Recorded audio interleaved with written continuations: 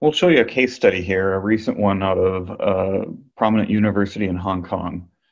Uh, this client was an existing Peplink customer, um, but in the response to COVID 19, this university had to close all of their classrooms, send all of their professors home, and try and resume operations remotely.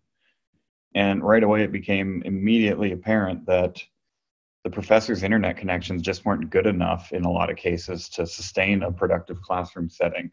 Doing remote video instruction live over the internet sounds great and it, it definitely makes this challenge easier, but the problem is again it, it's all hinged on that last leg that that professor's internet connection if that's not good none of the students are going to have a productive experience and so they were scrambling to try and find a way to make this uh, remote presentation system work better so that it could be a productive tool for their their students to use. So what they did is they took our new Peplink UBR and they deployed that to all their professors' homes. And so they've got landline and cellular connections at the professors' homes. So the UBR is a two modem product. It's got two different cellular radios in it, and then you can also plug it into a landline WAN. So you've basically got three different internet connections that you can use to protect your your traffic, whatever's important to you, and, and in this case, those those remote video lectures. So each professor was sent out a Peplink UBR.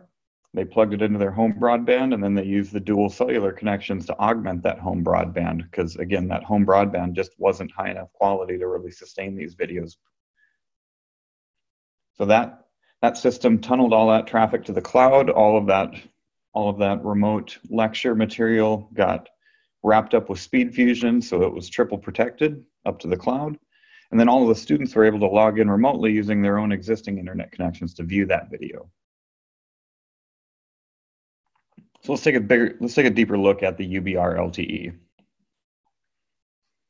So again, like I said, there's two cellular connections in here. You can see antenna ports for cellular one, cellular two, it's got built-in Wi-Fi. It's got that Ethernet WAN port, and then four Ethernet LAN ports, so you can get all kinds of devices, phones, computers, cameras, whatever you need plugged into this device.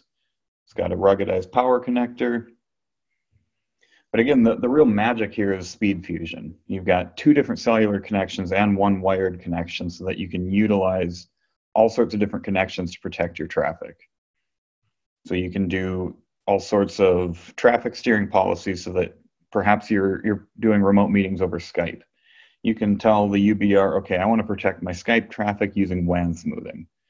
WAN smoothing gives you that packet duplication so that you don't get any loss in video quality, you don't get any gaps in your audio. But let's say for your email, you could send that over a hot failover, just so that if one of your links suddenly goes down, that email doesn't stop sending, it just seamlessly switches over to a different link. So again, you can create custom outbound traffic steering policies to protect the traffic with the most appropriate SpeedFusion policy.